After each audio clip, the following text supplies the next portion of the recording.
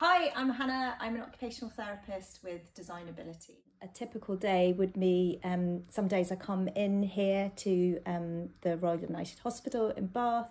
Um, where I will meet with colleagues and discuss the work for, for the week. Um, and I might be looking at applications that have come in from families and finding out a little bit more about the children and speaking to the families and therapists and getting more information um, about the child to work out whether Wizzybug is suitable for them. There are lots of areas for professional development here. Um, so, um, in terms of learning about key skills in postural management, um, that's been really fascinating for me, um, and the the knowledge that I'm building up of childhood conditions.